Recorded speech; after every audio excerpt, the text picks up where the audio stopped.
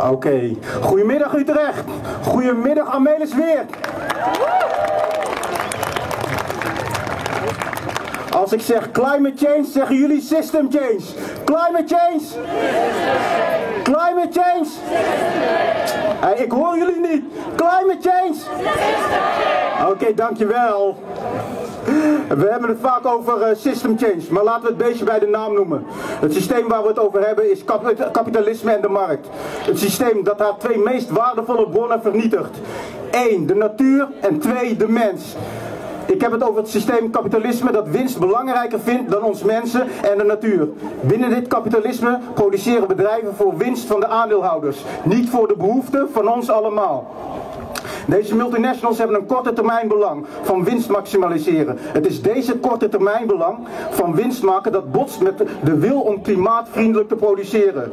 En multinationals worden daartoe gedwongen eh, door de markt, omdat ze het anders daar niet overleven. Daarom zie je ook dat bedrijven zoals Shell al in de jaren 80 van de vorige eeuw wisten van eh, het bestaan van klimaatverandering.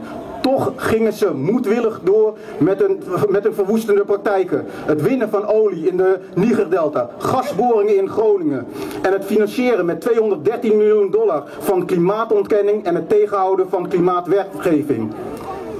Hieruit blijkt wel dat de winst van de aandeelhouders van Shell en ExxonMobil ten koste gaat van de leefbaarheid van ons planeet. Het is dit kapitalistische systeem die alle spelers op de markt dwingt tot klimaatverwoestend gedrag. Dit, eh, kapitalistische systeem raakt ons allemaal over de, wereld, over de hele wereld. Het kappen van bomen in Zuid-Amerika raakt inheemse mensen in het Amazonegebied.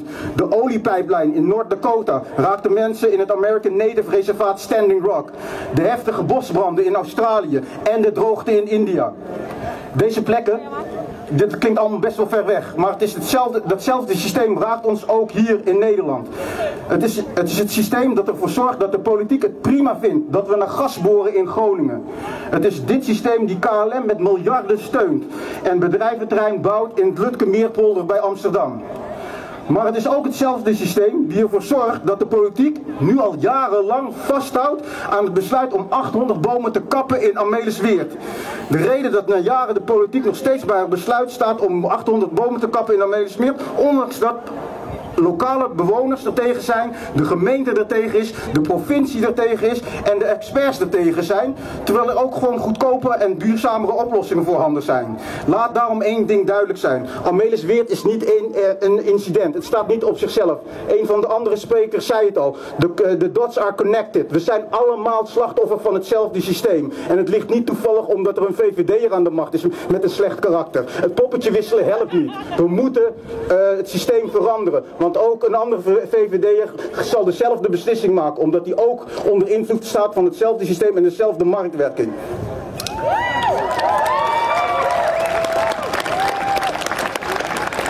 Voorbeelden die ik gaf laten zien dat we allemaal met elkaar verbonden zijn, omdat we geraakt worden door hetzelfde systeem. De oplossing van het klimaatprobleem is daarom niet te vinden in het economisch systeem dat we nu hebben. We kunnen daarom niet voor minder gaan dan een fundamentele hervorming van onze economie. En te komen tot een systeem waar mensen, dieren en klimaat prioriteit krijgen boven de winsten van aandeelhouders. En dan vraag je natuurlijk af, wat moet er gebeuren? Nou, het is vrij helder wat er moet gebeuren om de opwarming van de aarde tegen te gaan. Ten eerste, fossiele brandstoffen moeten in de grond blijven. Twee, grootschalige investeringen in duurzame energie. Drie, omscholing van mensen die nu werkzaam zijn in de eh, fossiele industrie. Want ook zij hebben, eh, zij hebben belang bij dat ze een toekomst hebben. Het openbaar vervoer moet gratis worden en in publieke handen komen. In, om te beginnen hier in Utrecht.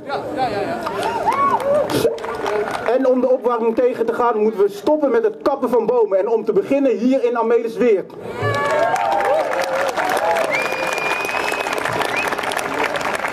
Om dit te bereiken kunnen we niet achteroverleunen en naar politiek Den Haag kijken. De verkiezingsuitslag stemt niet hoopvol. Hoewel D66 voor het klimaat zegt te staan en D66-lijsttrekker Sigrid Kaag op Twitter had gezegd te staan voor Amelisweert, kunnen we, kunnen we politici niet op hun woord vertrouwen.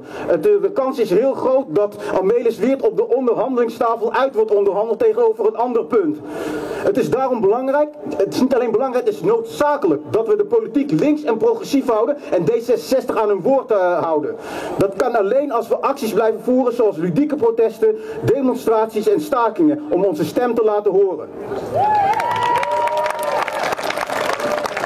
De teleurstellende verkiezingsuitslag zou ons moeten motiveren om de druk op te voeren. Laat het klimaatprotest van 2019 met 40.000 mensen op de Dam, de acties van Code Rood, de acties van Extinction Rebellion, maar ook de protesten hier in Amelisweert en het landelijk klimaatalarm van vorige week, van afgelopen, uh, van afgelopen zondag in 40 steden, opstap zijn naar meer protesten.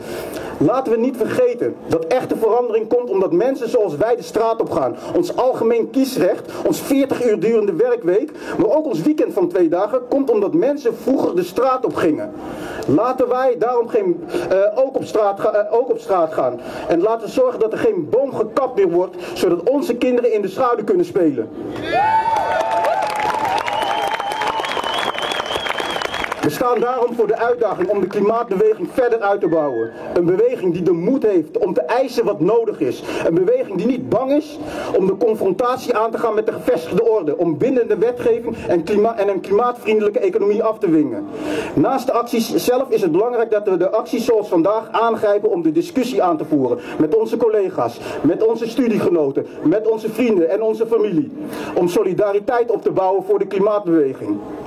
Nog één ding, dit protest is qua timing zo ontzettend goed, omdat het meteen laat zien dat we niet naar de landelijke verkiezingen stilstaan.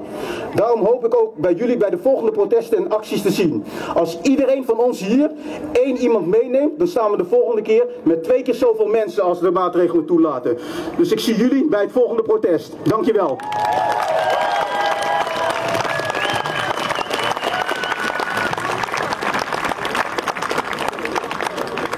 Dankjewel.